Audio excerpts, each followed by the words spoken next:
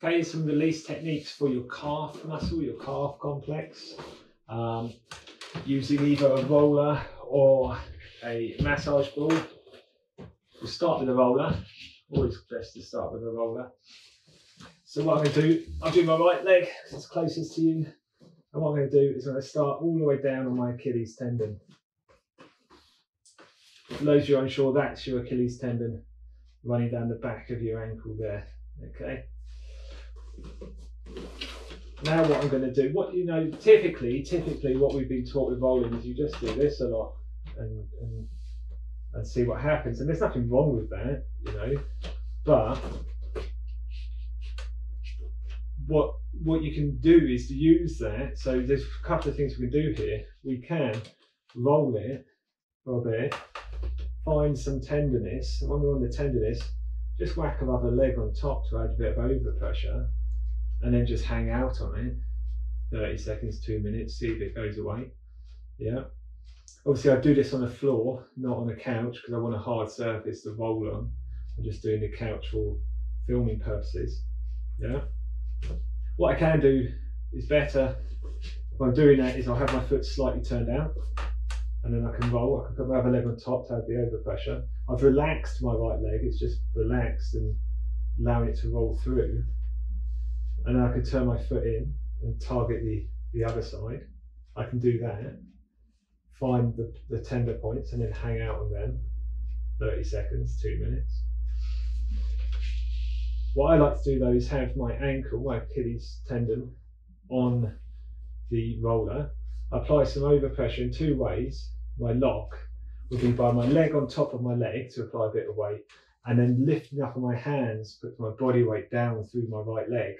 I'm not, I mean, like I am relaxing my right leg initially, and then what I'm going to do is lift my toes for stretch one, two, and then release, release.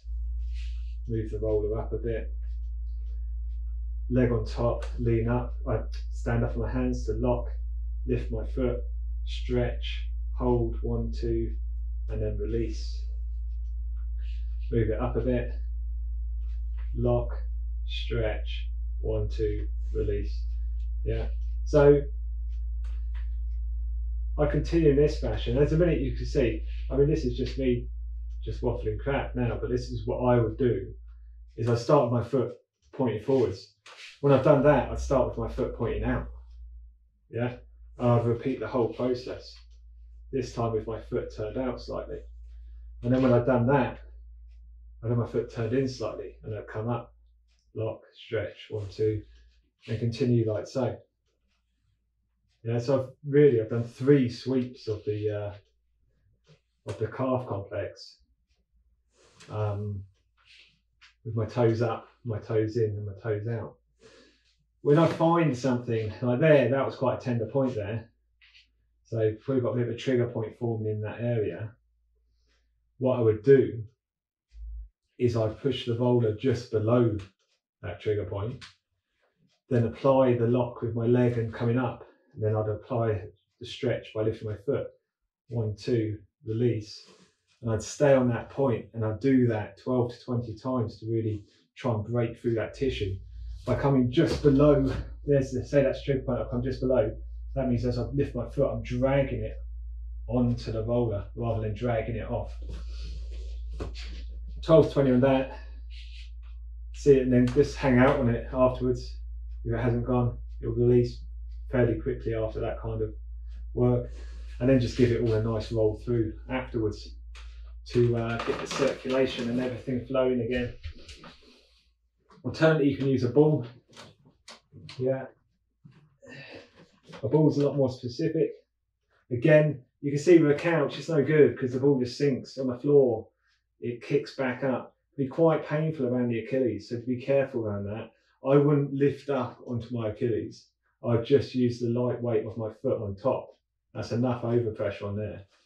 But as I move up, now with a ball, I'm only going to go left and right. So if you think about your calf, so everyone always goes on about the gastroc, the gastrocnemius. It's a two-headed muscle, so that's the back of the knee. And the two heads come up and wrap above the knee up here. And it comes down as a two-headed muscle. Gastrocnemius really though is quite thin, and it's the big soleus underneath, which is the fat muscle, which makes it look bigger than it is. But with a ball, I would only do toes to the side, yeah, and toes inwards. I wouldn't really come up the centre, especially not as I come up towards the top of the knee. Definitely, definitely not. Yeah, I don't want to go into that back of that kneecap area.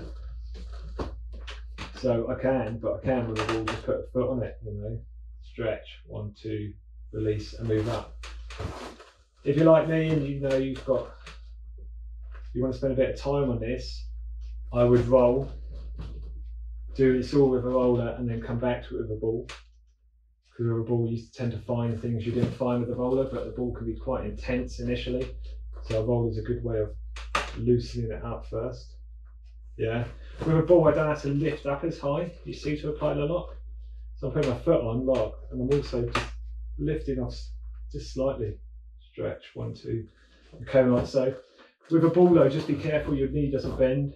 Try and keep your legs straight. It's easier to keep your legs straight on a roller. But keep your legs straight because like I say, the gastroc crosses the knee. So if you bend the knee, you're going to deactivate that muscle. You'll still be getting the soleus and everything underneath, but you'll be losing out on the gastroc contraction. That's a lot of waffle about calf. So yeah, so Percy, or play with both, see which you prefer. This tends to be a little bit more specific. This tends to loosen everything off quite easily. If I'm just doing a general release of my calves, I'll use a roller. If I'm feeling that they're tightening up and getting an issue, I'll do both. But there you go, have a go, see what you think. And that, that is how to uh, release your calf muscles.